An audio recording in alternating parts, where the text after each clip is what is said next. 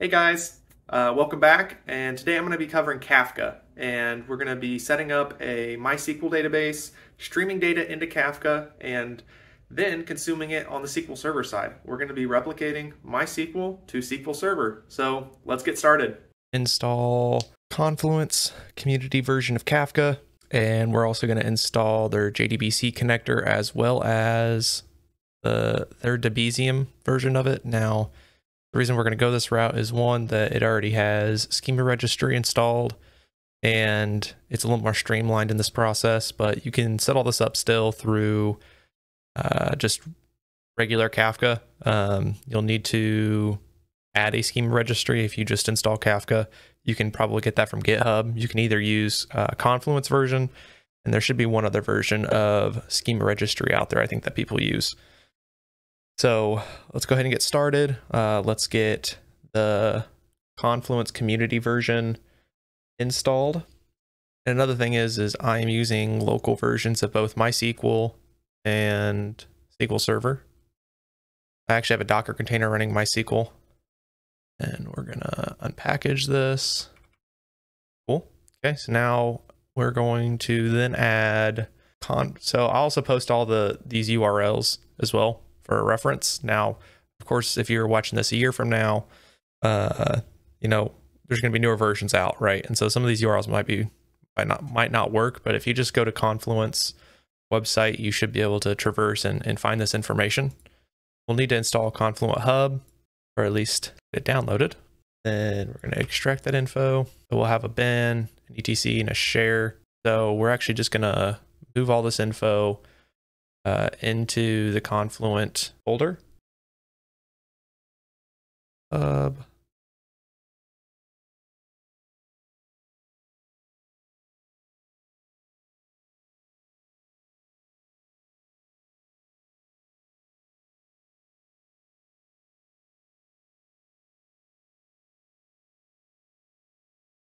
and the bin.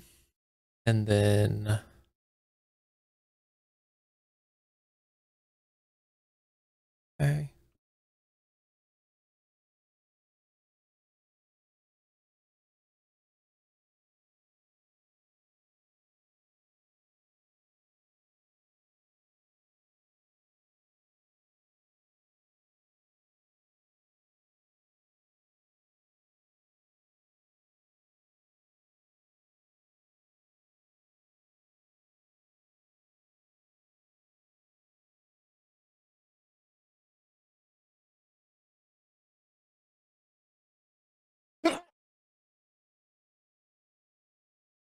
And then Confluent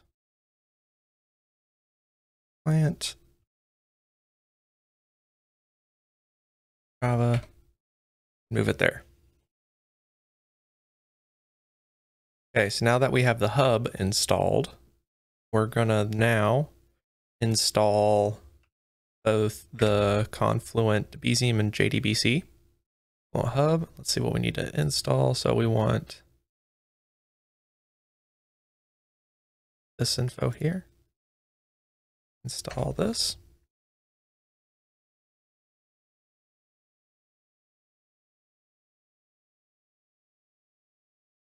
Yes.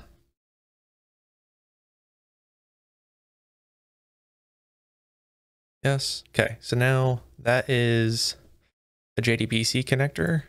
Let's get the MySQL Debezium. So it's another just install from the hub.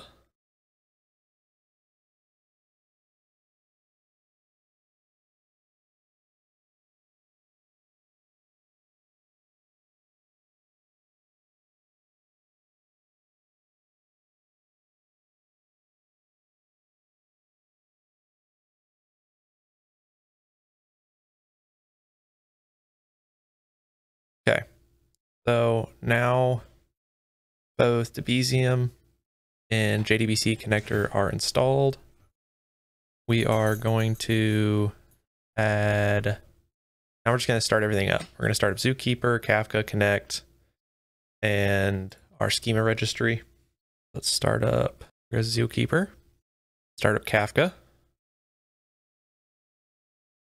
You start up, sometimes this will error out. If Yep. So it started up before Zookeeper could uh, finish booting up. So sometimes you got to wait a second. Now they are getting, they are going to retire Zookeeper in future iterations of Kafka. And uh, I can't remember what what part of Kafka they're adding, but they're adding a new little piece of Kafka that they're developing themselves uh, for. So that's all internal. That should be fine. Should boot up just fine now. Okay, so now Kafka is running. We're going to boot up Connect. Now in Connect, you can see in here, you can see the plugins right here, IO Debezium. So it found that Debezium that we installed. So it's adding that into the, the Connect side. And then also in that, if we go back up, you'll see the JDBC connector as well is added into that list of plugins. And then last but not least, schema registry. This will be mostly for the the schema of MySQL going into SQL Server. So it's it's registering that schema and tracking it. Okay, so everything is up and running now let's dive into each of the configs, both for MySQL and SQL Server. So this is the MySQL connection. I've labeled the connection as MySQL CDD, CDC source. I'm using the Debezium connection that we installed previously. So this is what is looking at the bin logs and connecting into Kafka. We're going to do some rewrite handling. We're going to do a transform in this connection. You don't have to do this, but I want to add a suffix to specifically my topic. And all I'm doing for my topic is I'm adding the word, the source, as well as down topics prefix with a POC. So you'll see POC dot, and, and you'll see that in the SQL side, POC, the table name dash source. Within the transformation, now this is kind of up here, you see transforms. This is just kind of a grouping. It's not actually the transform itself. The actual transform itself is done here. If you go to Kafka and look up transforms, Kafka's website. I'll post it in the description below. You can actually see the list of transforms that you can do. And all this one's doing is one, transforming the message. And on top of that, it's adding the suffix on the topic. So some database information for the MySQL, you need to have your username, your server ID, a server name. This here for schema history is most likely your local server is going to be hosting it. It could be hosted on another server, but you need to put your server name in here. And then the port ID, which is most likely 9092 the database port or MySQL, the host, which is your server name and password, and then the name of your connector. This is so this, this part is a little interesting. We have a table whitelist and a table includes. Table whitelist is what's going to monitor the schema changes. Table include is going to be monitoring what tables to actually process. So if you only want to process or replicate one table of your database, then just put one table. If you want to replicate five of the 10, put five tables and that's comma delimited in here. And it will only replicate those five tables to SQL Server. Now, if you want all the tables, then just leave this out and it'll process all your tables in your database and through Kafka. Okay, so let's run. After it runs, the big thing here that you see is created and we can verify that information on the connect side and we can see that it has created some information for us we can see that it did it created successfully it's creating some files and so we know that we're good there. So let's go back and let's review our sql server. This is what the sql server connection is going to look like. It's using the jdbc connector. We are doing several transforms here. We're doing in this list we're going to do an unwrap an insert timestamp and We'll also want to add some topic information as well. Some connection information for your database. You need your username, password, and then under the URL portion is going to be your server name and the database you plan on writing to. Some other interesting things here. We go back to the transforms. We can highlight this and look at this. The very top transform is in deals with unwraps and delete handling. So what we're gonna what part of this we're doing is doing some rewrites. Um, and we can also see part of that being in the insert mode down here, an upsert. So all what that what we're doing here is we're inserting data and we're also updating data. We're not just constantly inserting data. So we actually have no uh, CDC. This is like replication. we have two master records that we're referencing from MySQL to SQL Server.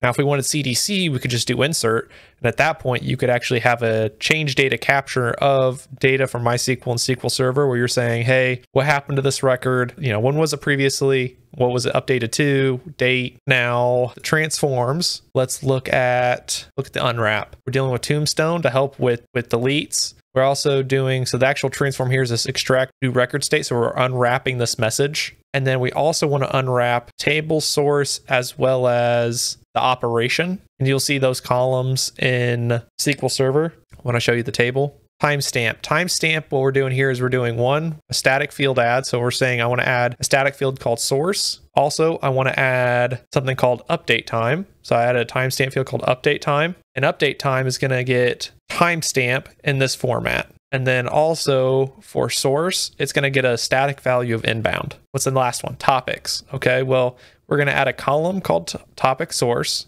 And then I'm going to statically grab, well, it's actually not static. Sorry. It's actually looking at this field pretty much and inserting it so I know what topic I'm utilizing for this table. Uh, and so you can see this is the transformation, insert field value. So kind of static, but it's looking at the topics. Auto create. This is a really cool, cool feature. This allows you to create the table on the fly and add new columns on the fly. It will not delete columns. It'll just keep those columns there. If you have developers adding and dropping columns, this is a great feature. Not have to edit your Kafka connection all the time or config. And these last two things are big. So for the previous portion, I said upsert, you have to have a primary key. So your primary key fields, and it is case sensitive. And you can add, if you have multiple primary key fields, it's just comma delimited. So just add another comma in that column primary key mode, if you are dealing with deletes and you want to delete the record, just change this to a record key instead of record value. And then you also have to add deletes equal or deletes dot enabled equals true or something as well. But let's go ahead and run this. As well as for this one, you should see something very similar uh, to the MySQL. So let's go look at connect.